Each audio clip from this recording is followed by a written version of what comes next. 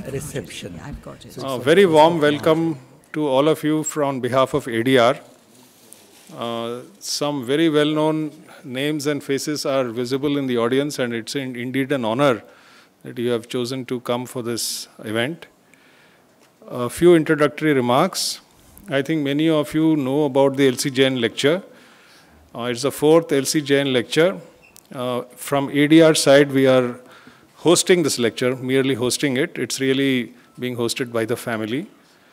Uh, having had the privilege of knowing Sri L.C. Jain, I'll make a few remarks, not take too much time because we are all eager to hear the main speakers. At this time when we are facing many questions of democracy, uh, I often think of Mr. Jain for the following reason. I think uh, he first must have voted in 1950, long before I was born. And uh, as a young man, he did not have the right to vote because we were not an independent country. And I re remember many conversations with him where how precious he felt this independence, democracy, and the right to vote is. Almost something like very hard fought one, बहुत लड़ाई के बाद वो मिला, and almost something sacred. And we used to have several discussions about this. I think we have to recapture that spirit today uh, about how sacred and important the right to vote is and whether we, all of us as citizens, are exercising it properly and with responsibility. The, uh, one of his collected works is going to be released uh, shortly.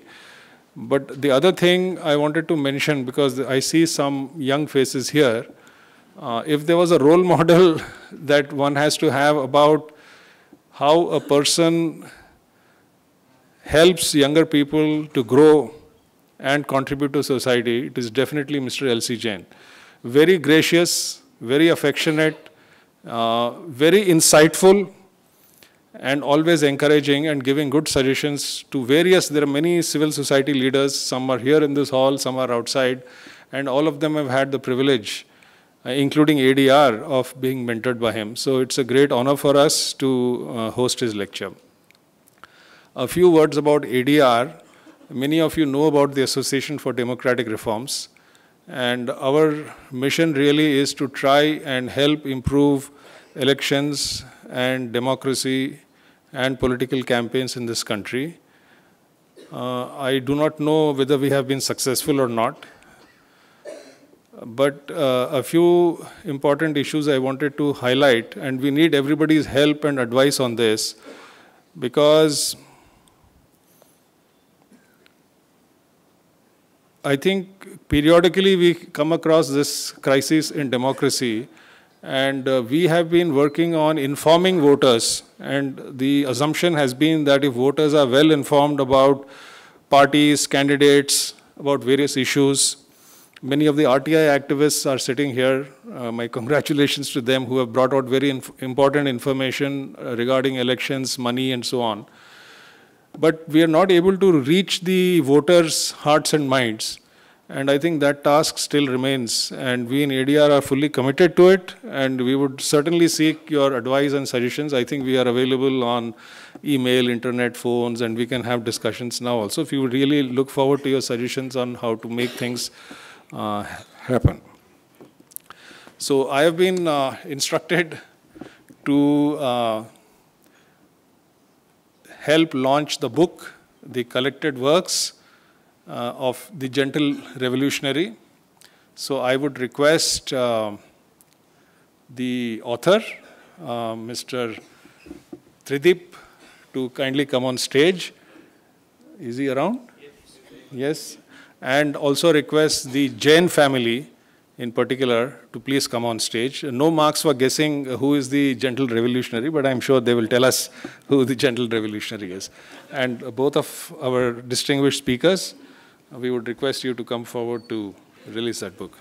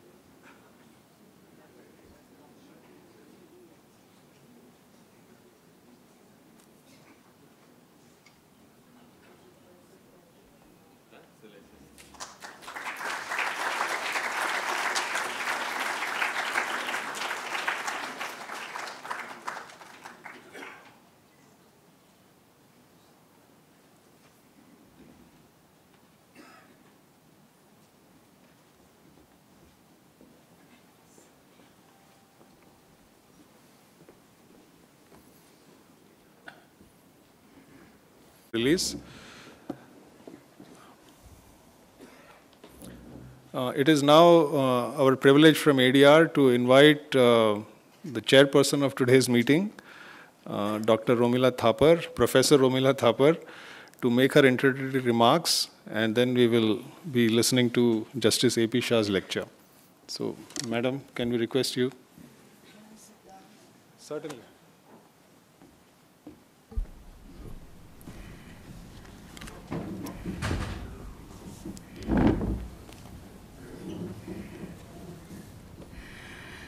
Good evening, everybody.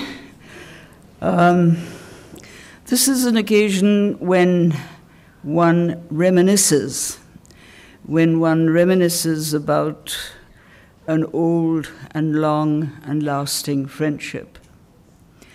And I hope that you will forgive me because when we people become old, as I am, we enjoy reminiscing and we enjoy imposing our reminiscences on anybody who's there to listen.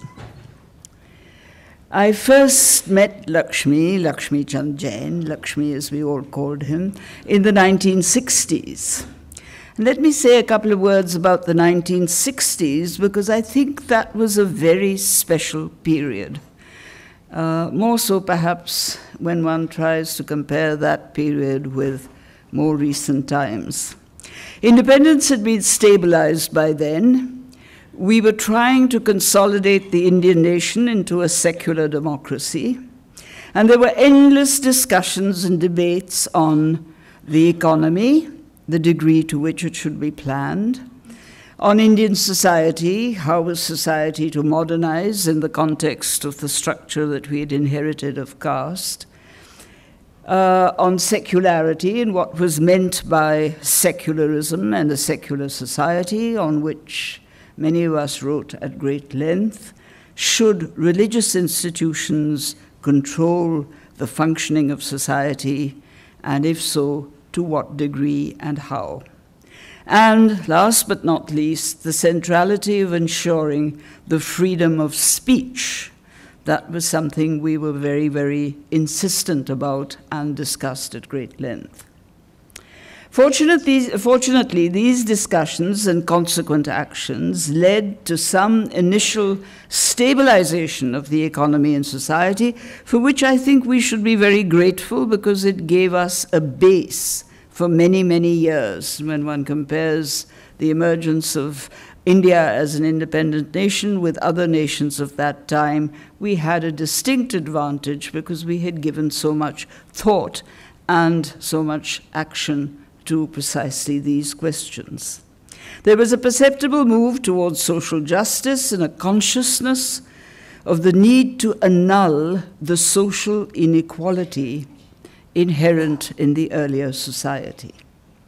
And above all, there was an awareness of citizenship what does it mean, the change from being the subjects of the Raj to becoming independent citizens of a nation?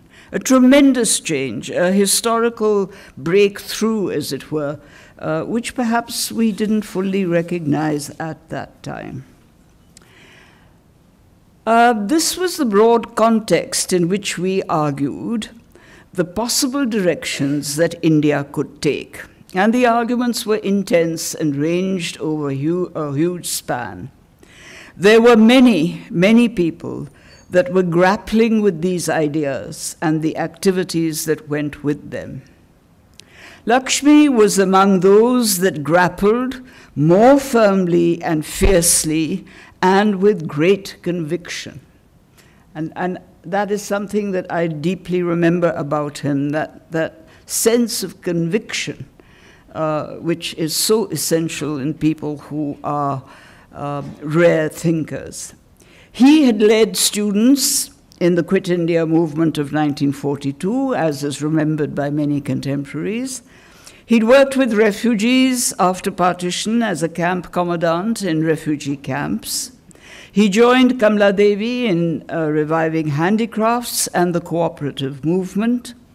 And the cottage industries emporium once in its best days was one of the results of his efforts. When there was talk of development, he knew the nitty gritty that many others did not, precisely because he was working in areas that others were not working on directly and were largely theorizing about. And more than that, being a bright, thinking, thoughtful person, he recognized the implications of the decisions that were being taken. That is something that people often miss out on. They take decisions, they have theories and ideas and so on. What the implications are in real life is something that is not always very apparent. On many occasions, when all this was being discussed, he would formulate his ideas on decentralization not just as theory, but in terms of the actual involvement of local institutions, which for him was a very important question. His emphasis was on giving authority and finance to local people and assisting them to organize essential institutions, more particularly those associated with education and health and his insistence on giving fierce, giving both face and voice to those people who were generally ignored was more than just being generous to other human beings. He had the awareness of a sensitive person recognizing the outcomes of these activities. And in a sense, much of this was a reinforcement of his commitment to Gandhi's ways of thinking and acting, a commitment that gave a tremendous direction to his life. And then, two things happened that brought Lakshmi even more center stage into the lives of many of us and showed him to be a man of both, both thought and action. The first thing was that he and Devaki got married. And that brought him right into our lives. How? All those of us that had known Devaki as a close friend, like myself, now got to know him and admire him as well. The second thing was that suddenly, out of the blue, he established the Super Bazaar cooperative stores, which controlled prices for the extensive sale of items of daily use. This was a godsend for those with small incomes, but more importantly, it was also a demonstration of his ability to put ideas into form and make them functional. How I remember how impressed, how deeply impressed all of us were, and we talked about it for days, that here was a man who'd just gone out and done it without constantly talking about what was needing to be done and showed us how it could be done. That is terribly, terribly important, and we often don't recognize the importance of people who can do that. And as we repeated to ourselves that knowing him was, to use his own words, another kind of education. Later, he received the well deserved Max Magsaysay Award, and he had a disinclination to accept state honors, so this was quite acceptable. He went as High Commissioner to South Africa, an opportune time for him to bring Gandhian thought to the forefront. Thinking of present times, as we all do, I often wonder what he would have said about the situation today.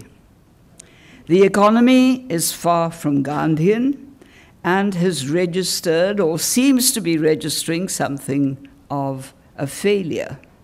The economy does not speak to the peasant and does not speak to the man in the street. Politics is being used to strengthen caste hierarchies instead of working towards a society that doesn't have hierarchies. And the freedom to think, absolutely fundamental, is being slowly eroded. I have a gut feeling that he, had he been alive today, would have joined many of us in approving of the protests that are going on right round the country. The protests by the students, and even more by the women, an extremely important departure in the history of Indian society. He would have been among them, pleased that they were not only showing courage and grit, but making a determined point about how they visualized their future as citizens and rejecting the kind of society that they did not want. That their concern was ethically charged, and this is a very important point that I would like to underline. The ethics of the actions that we undertake and the theories that we uh, propagate today. That their concern was ethically charged, unlike so much that is unethical in present times, would have been would have had a very strong appeal for him. In some ways, what is happening today takes me back to the 1960s again, but perhaps even earlier to the struggle for freedom. Those were the creative years when we worked towards a secular democracy in India. Now, we are trying desperately to protect what we created then and to protect it from being rapidly dismantled in diverse ways. In these times, in our times, one searches for ways to stabilize society and economy once again. One wishes equally desperately that people like, like Lakshmi were still with us. He would then have had to change the title of his book and call it not Two Freedom Struggles, but Three Freedom Struggles in One Life. It is in the fitness of things that the memory of Lakshmi should be celebrated in a discussion of where we are at in terms of defending the rights of citizens and in upholding the freedoms inherent in our society, as long as it is a secular democratic society. We must therefore thank the Association for Democratic Reforms and the family of Lakshmi Jain for giving us this opportunity, to hear Justice A.P. Shah. He will be speaking on Fighting for Freedoms, the Supreme Court in the 21st century. Justice A.P. Shah is among the most well known and reputed judges in India. And I won't go through all the many courts over which he held sway we should remember that the real breakthrough in gender equality, gay rights, and the striking down of Section 377 was by a judgment not of the Supreme Court, but of the Delhi High Court, a bench of Chief Justice Shah and Justice Muralidhar. When occasion demands it, he is when occasion demands it, he is an outspoken and fearless critic, both of the government and of the judiciary. For him, the freedom of speech is fundamental, and he describes it as the lifeline of any democratic institution. When, in certain judgments, citizens come to doubt the credibility of the judiciary, it is reassuring to know that the judges of integrity and commitment to the cause of a free democracy, such as Justice Shah, will not hesitate to express publicly what they think. To have that assurance is something invaluable. May I ask Justice Shah now to deliver his lecture?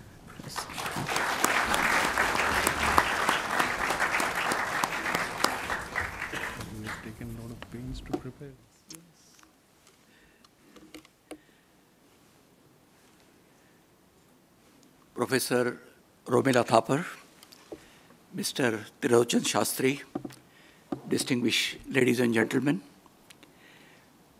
good evening to all of you. At the outset, I would like to thank the Jain family for having invited me at this edition of the L.C. Jain Memorial Lecture. I didn't have occasion to meet him personally, but I have read a great deal about him and his stellar work and contribution to society.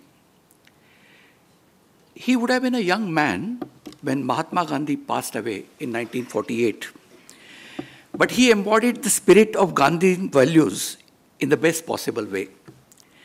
Indeed, he has been described as an impassioned crusader of what Gandhi called the second freedom struggle for a just and equitable India. Mr. Jain's autobiography, titled Civil Disobedience, is a fascinating book, especially, and very revelatory. In that, he makes extensive observations on the emergency years. Recall that he was among the few brave ones who mobilized people for an anti emergency movement. What he says in the book is relevant even now, and remembering him in today's times could not be more opposite. What I found especially interesting that the disputed structure is the holy birthplace of Lord Rama. The need for this addendum is highly questionable given that the bench had already unanimously decided the case on constitutional principles. And the addendum was not serving the role of a concurring judgment. Instead, the addendum seems to reinforce the supremacy of Hindu theological considerations, which the founder members of the in Constituent Assembly clearly rejected. A key issue that arose in this judgment was the issue of equity. The Supreme Court was of the view that Allahabad High Court's decision to divide the property into three parts was not feasible in view of the need to maintain peace and tranquility. However, whether the Supreme Court judgment resulted in complete justice is questionable, since it still seems like, despite acknowledging the illegality committed by the Hindus, first in 1949, by clandestinely keeping Ram Lilla Ramlalla idols in the mosque. And secondly, by wantonly demolishing, demolishing the mosque in 1992, the court effectively rewarded the wrongdoer.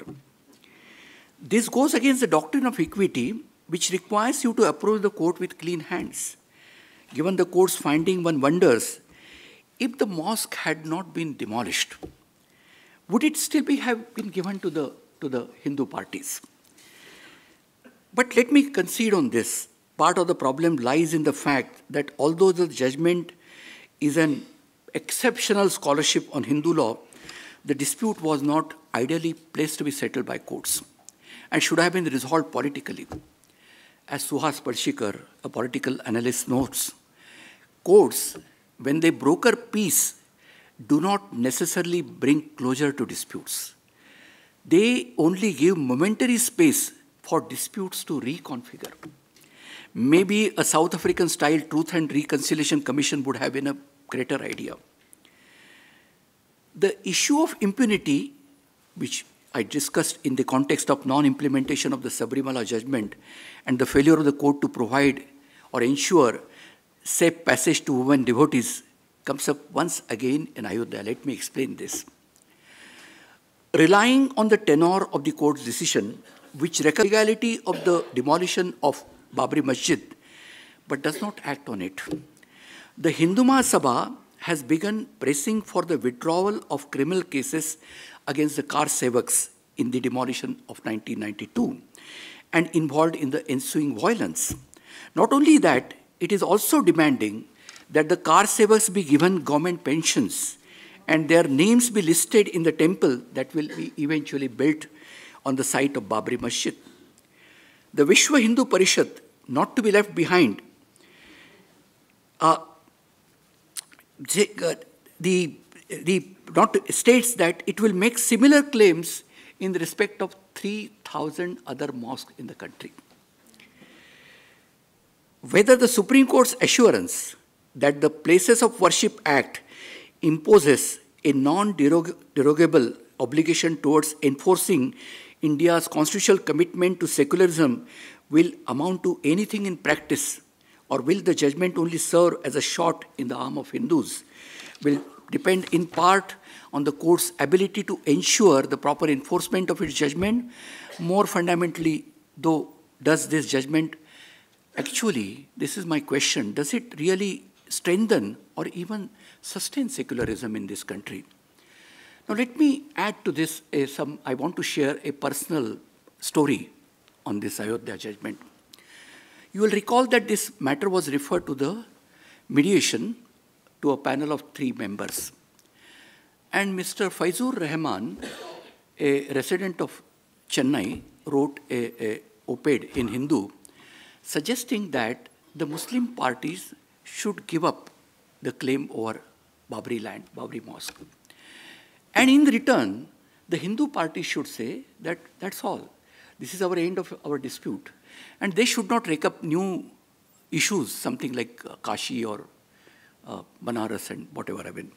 So this was his suggestion. So I happened to meet, soon thereafter, I happened to meet a very high functionary in the RSS, a very respected man. So I put it to him that this is a good suggestion. It seems that the Muslims are in a mood to settle. They are offering this land. And all that is required is assurance from your side that this, is, this will not be in respect of other places of worship. So he told me that the Hindus would not give any assurance of this type. He said that the Muslims must surrender the land. And if the government wants to give them something, some land, etc., it's for the government to do. But from our side, we will not give any such assurance. Eventually, the mediation failed and the matter was decided by the court. But then I come to the last part of Ayodhya, that is the question of actual implementation of the judgment. I'm inclined to agree with Madhav Godbole, former Home Secretary in this regard. He asked whether giving five acres of alternate land to Muslims for constructing a mosque is the most appropriate or adequate compensation. He also asks what happens to the psychological hurt caused to the Muslims by destroying this place of worship. In an ideal situation, he says, the court should have asked the state and central governments to rebuild the mosque. Indeed, Mr. P.V. Narasimha Rao, the then Prime Minister, when the mosque was demolished, had announced this in Parliament and later wanted it fulfilled. The Gujarat High Court, too, has ordered compensation for wherever the, uh, the places of worship were damaged in riots, mainly masjids. And they said that you must, state must compensate and with the state fund, this will be restored and rebuilt. So the, the, the, unfortunately, the Gujarat High Court judgment was stayed by the Supreme Court just for asking. And, the, and you know that you must have read about it, that the, this land is given to the Muslim community some 25 kilometers away from Ayodhya. So this is more of a humiliation for Muslim. I wish that the court had thought about, the, about a better solution for, as a, as a, uh, for keeping, a, for putting a quietus on this issue. And lastly, I come to Kashmir. As a, there are many sets of orders and judgments. According to me, the Supreme Court's orders on Kashmir represents a missed opportunity for the court to come out strongly in favor of fundamental rights and fulfill its role as the sentinel on the qui vive. Three sets of petitions relating to Kashmir were filed before the court. The first related to the communication slowdown and Section 144 orders prohibiting public gatherings that were imposed on 5-8-2019. The second set related to the habeas corpus petitions that were filed against the illegal arrest and detention of individuals, including minors, under the Draconian Public Safety Act. The third set relates to the constitutional challenge to the government's de decision to amend Article 370 of the Constitution and breaking up the state of Jammu and Kashmir into union territories. In all three cases, the court has failed to give a satisfactory resolution even after six months. For the purpose of this speech, I want to primarily focus on the internet shutdown case that is known as Anura, uh, Anuradha Bhasin case, which was finally decided in January. The court's judgment is laudable in many respects. It divided, it directed the government to publish all orders, present and future, authorizing the suspension of the internet landline services and prohibiting public gatherings. It rejected the government's argument that national security consideration precluded a judicial review. It also gave constitutional protection to freedom of speech and expression and the freedom to practice any profession or carry on any trade, business or occupation over the medium of internet. Though it did not go as far as to declare the right to access the internet a fundamental right. Most importantly, the court made it clear that an indefinite suspension of internet services is potentially, is, is patently unconstitutional. Unfortunately, despite these, these observations, the Supreme Court failed to actually decide the matter. The purported reason seems to be that it did not have all the orders in front of it, and the situation was changing on the ground daily. However, this reasoning seems to be tenuous when we consider that a few sample shutdown orders were placed before it with detailed arguments about their constitutionality and the rather unconstitutionality, and the court could have easily directed the government to file remaining orders. They rely on the famous uh, observation of Lon Fuller there can be no greater legal monstrosity than a secret statute. That's a praiseworthy observation. But it did not result in practical benefit, given that the government was effectively allowed to take advantage of its own wrong of not publishing all the orders and submitting it before the court. The court expressed its anguish that the government has not done it, but the court did not order the government to publish, to produce all the orders before the court. After ruling that the suspension of communication services must adhere to the principles of necessity and proportionality, the court failed to apply this principle to actually decide the legality of the communication shutdown in Kashmir. Indeed, it directed the fresh publication of all orders with the review committee reviewing all these orders. They also quoted uh, Lord Diplock's uh, aphorism you must not use a steam hammer to crack a nut if a nutcracker would do. That's a very famous uh, observation of uh, Lord Diplock. But for the people of Kashmir, it is meaningless.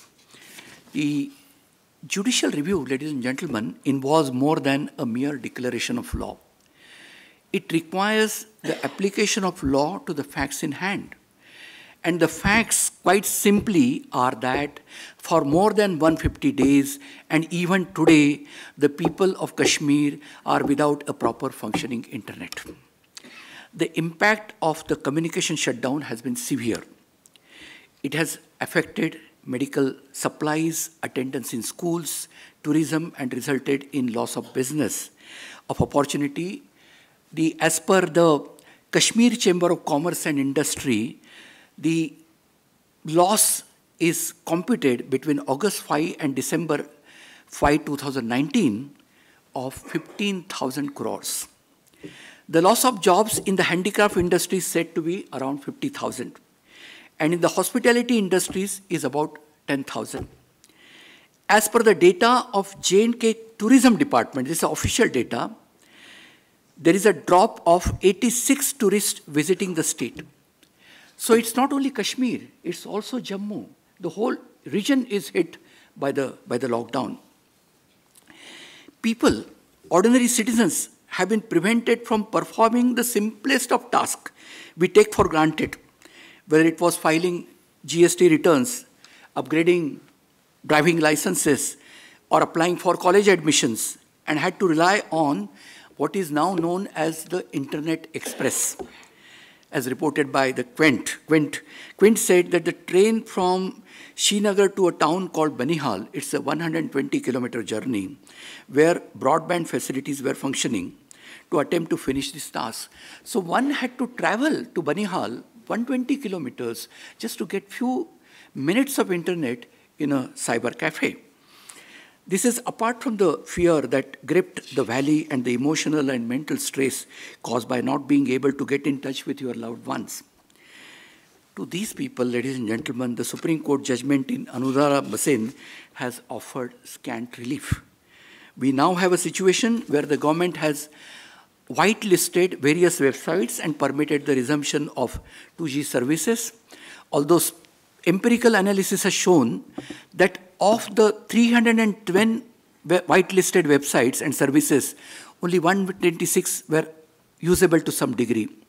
Social media sites and peer-to-peer -peer communication apps are still prohibited. Deep questions remain about whether whitelisting is proportionate because in the privacy judgment itself the court said that the every act of executive taking away the fundamental rights must be tested on the principle of proportionality. So whitelisting is whether it itself is proportionate or not. No, God knows. I mean, this is to be addressed by the Jammu and Kashmir High Court sometime in foreseeable future, future and this would continue. Meanwhile, I mean, Kashmir continues to face the longest intentional internet shutdown ever recorded in any democratic country. As Aniket Aga and Chitra Gada Chaudhary note, we seem to not care in integrating a people via an armed siege, in silencing their voices and dismissing their pain, we are also abrogating our own humanity. Unfortunately, the lack of an effective remedy and the trend of judicial evasion is also evasive is also visible in the court's handling of other cases dealing with Kashmir. Dr. Sameer Kaul, a, a, a, very famous doctor from Srinagar, filed, had filed a PIL before the Supreme Court seeking restoration of internet facilities in hospitals and other medical establishments in Jammu and Kashmir, highlighting how the internet shutdown was resulting in delays in accessing, just see this, medical reports, delays in surgical and other medical procedures, and difficulties in accessing life-saving drugs and baby food items that were mostly available online. He was told by the Supreme Court to approach the High Court to avail the appropriate legal remedy. Now, let us come to the, the habeas corpus petitions. A petition had been moved on behalf of detained CPIM leader, Mr. Mohammad Yusuf Tarigami, challenging his illegal detention. The Supreme Court supposedly permitted Sitaram Yechury to visit his colleague, Mr. Tarigami, only on the condition that he file an affidavit on his return that he not engage in any political activity during the course of his visit. Subsequently, while allowing Tarigami to visit Delhi to avail medical treatment, the, court, the Supreme Court held that challenge to his allegedly illegal detention was not urgent and would come up in due course. The directions by the court are about Mr. Yechury particularly are surprising. Considering that a habeas corpus petition, actually it means produce the body. That it's a, it's a Latin phrase which means produce the body. So we have to, the court has to decide the legality or illegality of the, of the, of the detention. Now the, instead of entertaining the petition, the court uses this occasion to impose conditions and place restriction on the free movement in Kashmir. We must remember that there was no prohibition at any time against visiting Kashmir, and the court's order had the effect of putting in place such restrictions. In doing so, the court seemed even more, I mean, I'm using Lord Denning's uh, words, seemed even more executive minded than the executive itself. Even the PIL against the alleged reported illegal detention of juveniles and police excesses in dealing with juveniles in the context of the aftermath of Article 370 decision in Jammu and Kashmir was disposed of on the basis of the report of Juvenile Justice Committee of the High Court of Jammu and Kashmir, despite many media reports to the contrary. The court directed that if there was any case of illegal detention of a, of a juvenile minor, the petitioners were at liberty to approach the appropriate legal forum, namely the High Court, for redressal of their grievances. These cases, ladies and gentlemen, represent instances where, despite the urgency of the matter and the increase in the sanction strength of the Supreme Court, it has failed to decide this matter expeditiously. Instead, it has passed the buck to the High Court, which has reportedly received over 2,500 habeas corpus appeals since August 5, even though it is functioning with half of its strength of only 17 judges, and it's now 8 or 9 actually working there. As the senior advocates, Raju Ramachandran and Chandra Singh, have pertinently asked, and this is a very pertinent question they asked, as the court turns 70 in a few months, is the sentinel sufficiently alert or is it in danger of losing the plot? Moving on, several orders of the Supreme Court, including some orders in the Kashmir matter, suggest that the role of the Supreme Court as a counter majority institution, that is, as one which seeks to keep majority impulses in check, is diminishing. On the other hand, as suggested by constitutional scholar Gautam Bhatia, and this is one topic which I will discuss with you in some detail. Mr. Gautam Bhatia said that the court seems to be slowly taking on attributes of the executive itself. It seems to be drifting from a rights court to an executive court. As Bhatia points out, behaving, believing, behaving in a way that is indistinguishable from the government, often issuing important policy decisions through its judgment, prioritizing cases in specific and sometimes worrisome ways, and undertaking actions that would ordinarily be considered the domain of the government. The most obvious example of all this was the preparation of the National Register of Citizens, or the NRC. The NRC was intended to tackle concerns of lawlessness, migration and cultural issues in Assam. The Supreme Court had, many years back, had described the illegal migration happening in Assam by Bangladeshi Muslims as an external aggression or an invasion of India. The Supreme Court decided that mostly poor and illiterate people who are being made to prove that they are Indian citizens based on documents such as a birth, schooling, and land ownership these documents are not easy to find and put together. Even if they are put together, they are rejected for issues of English spelling. So sometimes Ahmad became Muhammad. So the application is rejected. Then there would be some mistake in age or date of birth. Again, the person is declared as a foreigner. And the, the way the foreigner tribunal function is, as uh, I mean, we are amazed because some uh, official record, copies of official record was produced before us. These foreign tribunals are manned by people who are appointed on yearly basis. And the criteria for continuation of a, of a foreign tribunal member is how many cases he has declared the person as foreigners. If the number is less, he will be discontinued. There had to be more and more people. And in fact, during the hearing, uh, Chief Justice Gogoi asked, asked the uh, the authorities as to how many uh, people are there in a particular detention center. Uh, so they said 900. So uh, Chief Justice got furious. He said, "Why 900? There should have been thousands in the in the in the uh, detention center." Coming this from the court of India, a rights court. Do you still believe that it's a it's a rights court? So the this is this is where the I think Harsh Mander has some sort of a uh, disagreement with the judges and he asked for recusal of the Chief Justice and ultimately he recused himself. So then another fascination which is very interesting development of the, of the era of the last Chief Justice is the sealed covers. This is the travesty of the worst order, is the newfound attraction for sealed covers. Secrecy can in limited circumstances be justified by the executive. But the distinguishing feature of a judicial institution is transparency. For only then can the institution assure the people that it is giving everyone a fair and equal chance to be heard.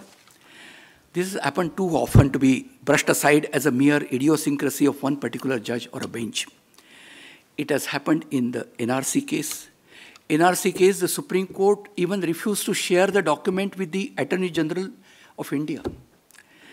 The Rafale case, same.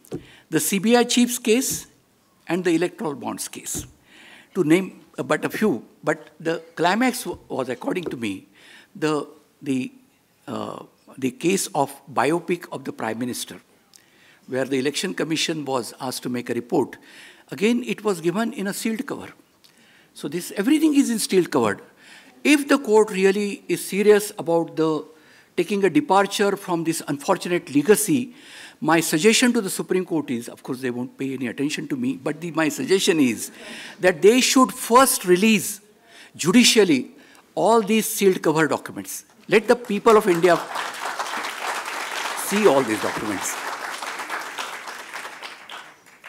Another instance is the court's worrisome practice when it comes to the privatization of cases. The court found it, it had no time to deal with the many civil rights related cases that were lying before it eh, pertaining to Kashmir. I mean, the Chief Justice said that it had no time to take up these cases. Mr. Gautam Bhatia then tells us about the case pertaining to electoral bonds.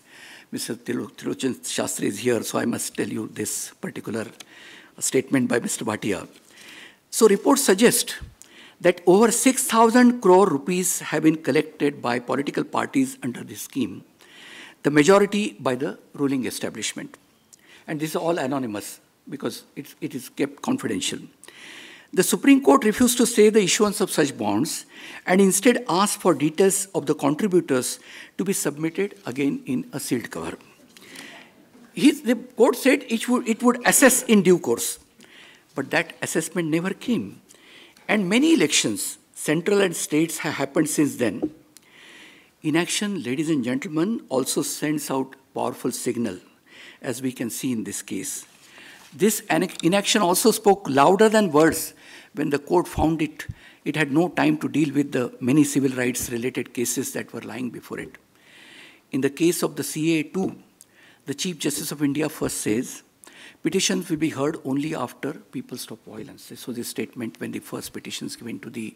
So either he said, you go to the street or you come to us, as if the good behavior were a condition precedent for seeking protection of fundamental rights. Scores of petitions were filed, were filed in the month of December 2019. The whole country was polarized, and there was even, even violence perpetrated against peaceful protesters, protesters by state authorities themselves. I mean, one should really, I mean, I wish that you, you were also present when the People's Tribunal on UP police excesses were conducted.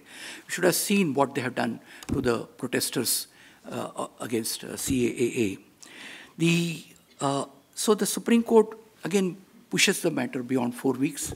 So I feel that this is really disappointing. But ladies and gentlemen, finally, as I was putting this talk together, I realized that even if I was critical of certain decisions of the Supreme Court, the fact remains that there is a high degree of constitutional faith in India today. Look at the people reading uh, uh, those uh, preamble and the provisions of the Constitution in public. Professor Baxi uses this phrase constitutional faith to describe the belief in society that the judicial process is key to anchoring India back onto the path of democracy or the re-democratization, he uses the words beautifully, re-democratization of democratic polity. I agree with him. As a people, I think we still believe that one of the few things to be proud of in the Indian democratic setup is the free and fair judicial process that we are promised through the Constitution, which keeps the executive and legislature in check, be they in the, set, the center or the state. The institution that is judiciary is what we always turn to whenever the state abuses its power or our fundamental freedoms are threatened. We truly believe that the courts can be our savior. Ladies and gentlemen, just playing savior, though, is rarely enough. The value of a judiciary is measured by its fidelity to the constitutional scheme that birthed it. When George Grote used the term constitutional morality in his study of Athenian democracy titled A History of Greece, he was referring to the commitment to the process and structure of the constitution, as well as a commitment to freedom embodied in things like such as free speech, accountability, and transparency. This resonated with Ambedkar too, when he recognized the role of constitutional morality had played in the working of the Athenian uh, democracy. But he also recognized that constitutional morality had to be cultivated. And it did not merely come into existence because the constitution was written in a certain way and the constitutional order was always vulnerable and at risk. Our Supreme Court has used this phrase, constitutional morality, several times in judgment, and I plead guilty for first using this phrase in Naz Foundation. I used it as a, some sort of a contrast between public morality and constitutional morality. I said that the majority may think that the, uh, the uh, homosexuality is against the, uh, against the morality of, the, of, the, of their morality, but it has to be a morality of the constitution and where it stands. It fails that test. But this is used by the judges in quite frequently. But I'm, I'm saying instead of pointing outwards, I think the court should be self reflective and should ask whether the institution itself is loyal to the spirit of constitutionalism, to this idea of constitutional morality. Equally, I believe it is for the Supreme Court, as the custodian of the Constitution and the ultimate protector of our fundamental rights, to decide whether or not it deserves the constitutional faith that the people of India repose in it, and whether or not it, it lives up to these expectations.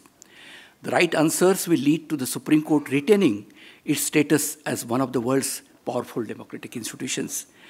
As an eternal optimist, I believe that the Supreme Court of India will recognize the missteps it has taken and correct course correction sooner than later. Thank you very much.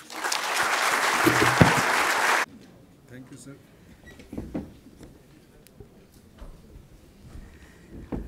I, I'm, I'm sure that you will agree with me that we have heard an absolutely riveting analysis of where we are at. I remember my young days when we were told that the democratic structure of a society depended on the balance of three aspects of function the executive, the legisla le legislature, and the judiciary. And as politics and history went on in the last 70 years, we had moments when the legislature and the executive did not behave as they should have. And we were totally dependent on the fact that the judiciary was there. What we've heard this evening is an extremely important statement because it is looking with sympathy, but also with intensity and with analytical force at where we actually are with the judiciary and what we do with, for example, the decisions that have been taken by the Supreme Court. I was very struck by two things which I think we need to keep in mind. That perhaps historically the position has changed somewhat from what it was 70 years ago, and even the judiciary has to take into consideration what might be the political motivations of some of the cases it is asked to consider. Uh, one is particularly struck by the two, of, of the many, the two that were discussed this evening, the Sabarimala and the Ram Janmabhoomi, where the issues, in a sense, are not just legal issues. There are other issues that come in and impinge on the legality, and the court has to be very aware of this. And certainly to a lay person like myself, one has had the feeling that the court was not aware of this or was not giving it the attention that it deserved, that there are other dimensions. Uh, what I'm trying to suggest is that in every activity that is considered, um, there are symbols and there are issues which go beyond perhaps just the directly legal issues. The court may not be in a position to pass judgment on these, but I think that an awareness of these is extremely important. Can the Supreme Court then protect our rights? This is an absolutely fundamental question today, uh, which I think should be discussed much more fully than it is. It's not only in the hands of the court, it's not only in the hands of lawyers, it's in the hands of every citizen. And therefore, the uh, remarks that Justice Shah made about the need for transparency and availability are absolutely crucial if, in fact, citizens are to be drawn into understanding the processes by which judgments are arrived at, and citizens have in fact got to do that and have to be allowed to do that and have to be persuaded to do that. That's the whole point of being a citizen with rights and duties. Um, the extensive aspects of certain things come through very clearly, for example, when we as historians listen to what is being said about migration. Because this is one issue on which I can say, I think with perfect confidence, that history as we know it, culture, civilizations, and so on, would not exist as they have existed but for migrations. It is people coming in and people going out and the exchange of ideas and goods and what have you that create cultures and that create civilizations. So to have blanket terms of objecting to migrations, whatever the present, current, contemporary problem may be, I think it has to be seen as an ongoing process with certain differences coming in and not as an absolute that comes out of our situation. Um, and the last point I want to make is that I'm, I'm very pleased at the underlining that was done of um, the need for the judiciary to go along with the Constitution. The Constitution is, in fact, the fundamental democracy, uh, uh, uh, fundamental Uh, uh, aspect of a democratic society. Let's not forget that historically, again, I'm sorry to be constantly coming back to history, but I do feel that there is a purpose and function in knowing how these institutions came about. Citizenship is not something that dropped like manna from heaven. Citizenship is a historical phase.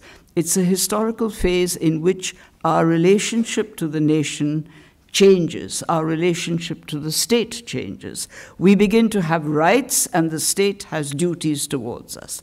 We have obligations. This is totally different from what was there in a pre citizen state, uh, for example, in the 19th century in, in India. And the Constitution then is the document, the contract between the citizen and the state as I see it. And therefore, every arm of the state, every aspect and institution of the state has to consider its activities in terms of how they relate to the Constitution. And I think this underlining that was done this, this evening is absolutely crucial. Um, so, may I ask you once again to join me in expressing very grateful thanks for a thoughtful, insightful lecture.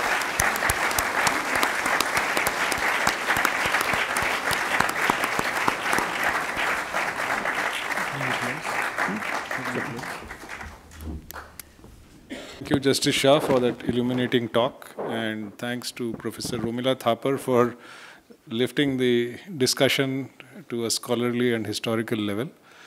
Uh, as a self-appointed activist group, if I may be permitted, Madam, as Chair, can I ask one question? We have heard a rather brilliant and insightful analysis of various issues, particularly the Supreme Court. But a question that I would ask all of you, and I really want an answer, if not right away, later on, what should we do? I asked Madam, while sitting there, how do we fight this? She shook her head. So, the people, particularly without white hair, the young people with black hair, please tell us what needs to be done. So, on that note, uh, once again, thanks to both of you, and thanks a lot to each and every one of you who has come here. And uh, we hope to learn from you in the coming days and uh, weeks. Thank you so much.